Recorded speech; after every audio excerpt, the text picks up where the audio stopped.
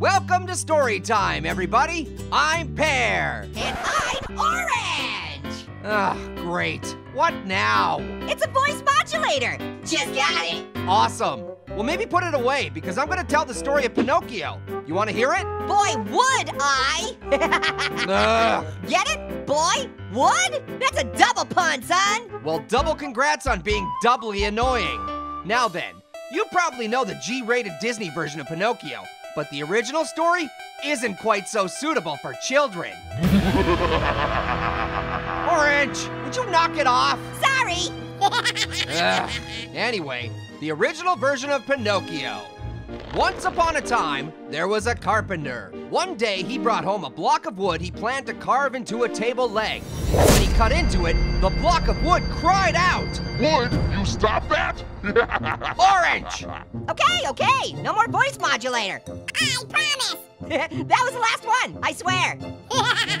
Anyway, the carpenter decided to give the wood block to his neighbor, a poor puppeteer named Geppetto. He carved the wood into a boy puppet and named him Pinocchio. Wait, I thought the block of wood yelled in pain when it got cut. That's right. So Geppetto just ignored the screams and kept carving it? He must really hate Pinocchio. Geppetto does not hate Pinocchio. Oh yeah? Then why'd he give him a name like Pinocchio? Ugh, ah, moving on.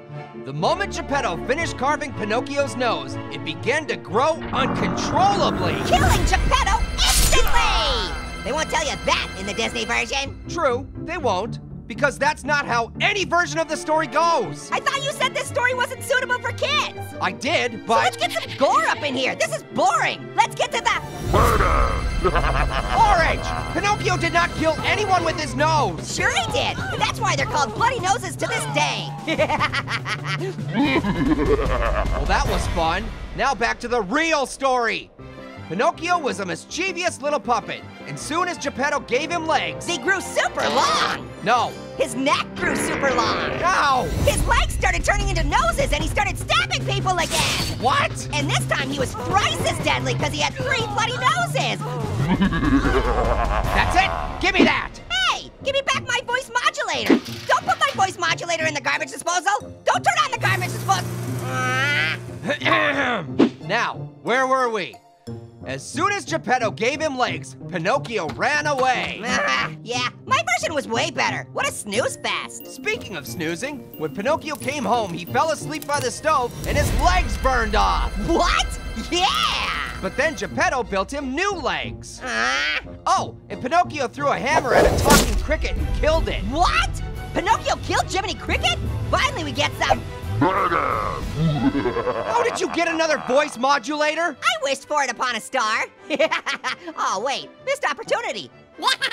Ah, okay, let's wrap this up. Basically, Pinocchio ran off with his new legs and did a bunch of other mischievous things and got turned into a donkey. Ooh, did someone say donkey? Did that come from your voice modulator? Yeah, that one came pre-programmed. Pretty cool, huh? Nope.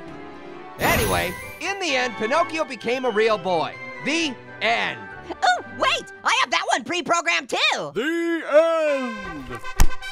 How many things do you have pre-programmed into that thing? A lot. You want to see my favorite? Fine. Hey, hey,